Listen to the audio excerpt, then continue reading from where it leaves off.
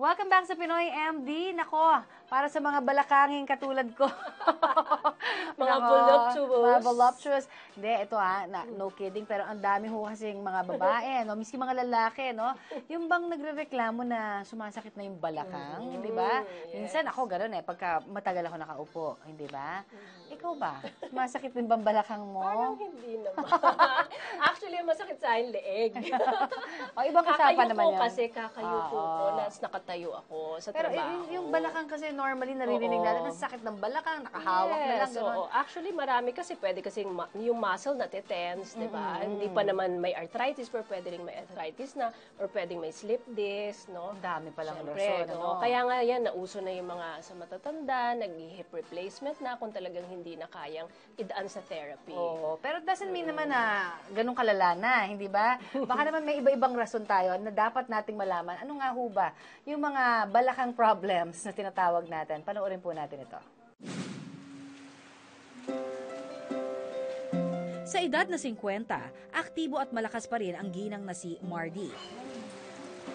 Pero dalawa hanggang tatlong beses sa isang linggo, nakarananas daw siya ng pananakit ng kanyang balakang.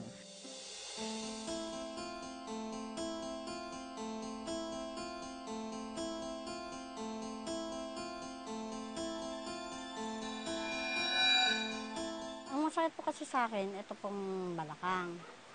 Lalo na po pag nakahiga ako. Nahirapan na po ako tumayo. Tapos pagka tatayo naman ako kung maglalakad ako, ang hirap itapak ng talampakan. Ang gagawin ko di, ititipto na lang po ang paglalakad ko. Kwento niya, 30 taong gulang pa lamang siya nang nagsimula ang ganitong mga sintomas. Mula noon, naapektuhan na raw ang kanyang pamumuhay. Pag sinusumpong ako ng sakit kong ganun, hindi na ako makakapagtrabaho ng bahay. Siyempre, nahihirapan na ako kumilos. Meron pong pagkakataon na pag sumumpong, talagang masakit po. Naiiyak po ako talaga.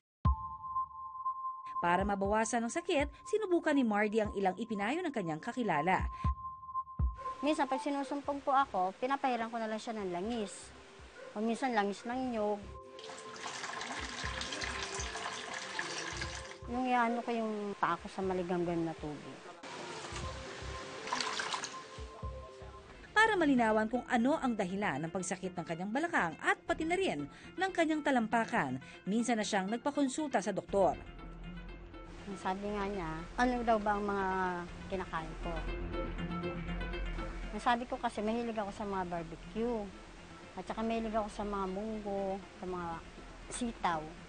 Eh sabi niya, baka may rayuma ka na, sabi niya ganyan. Ang hip pain, the most common one, which is yung osteoarthritis, is painful if you put weight or if you walk or when you sit up. Ang kinokomplain yung hip joint mismo. Yun yung ah, yung ball, saka yung socket ng ating ah, pelvis. Tapos nagkukonek yun dun sa femur. Ayon pa kay Doc, iba't ibang bagay maaaring sanhi ng sakit sa balakang o hip pain. pinaka-common cause is uh, osteoarthritis.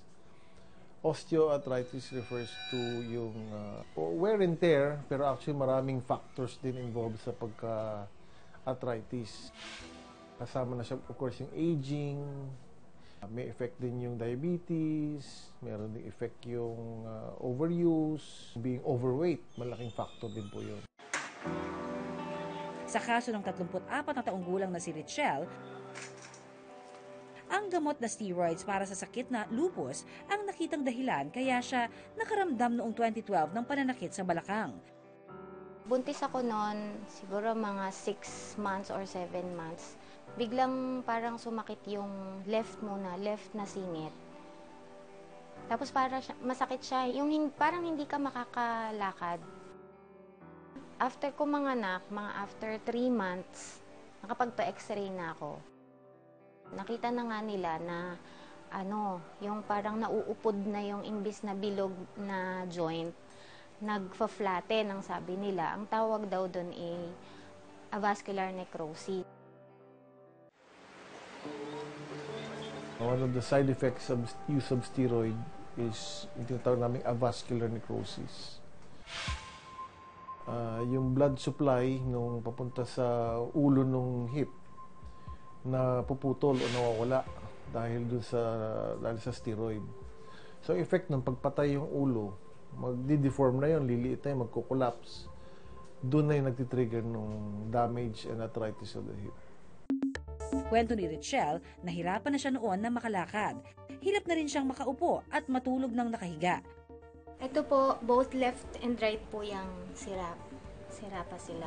Hindi pa na-ooperahan. Nang muling magpatingin sa mga espesyalista noong 2014, pinayuhan si Richelle na sumailalim sa total hip replacement. Ah, ito yung example po ng ano, hip replacement. Ah, ito po yung bakal, tapos ito nga po yung cup. Ang nangyayari dahil sira na itong head, ika-cut namin dyan. Katulad dito, naputol na. Tapos, ipapasok namin yung implant dun sa butas pag na-cut na. Papasok dyan sa loob. Itong case na ito may semento, pero pwede rin walang semento. Tapos, yung sa cup side, gano'n rin, kakayo rin namin yung para mag-shape dun sa implant. Ilalagay implant dun. Dahil may kamahalan ang nasabing operasyon,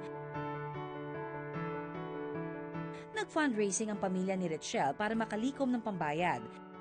January 2016 at June 2018, tuluyan ang inoperahan ang parehong hip joints ni Richelle. Malaki talaga yung improvement. Nakakatayo na ako dito sa bahay. Nakakakilos na ako ng mas madali. Yung pain wala na.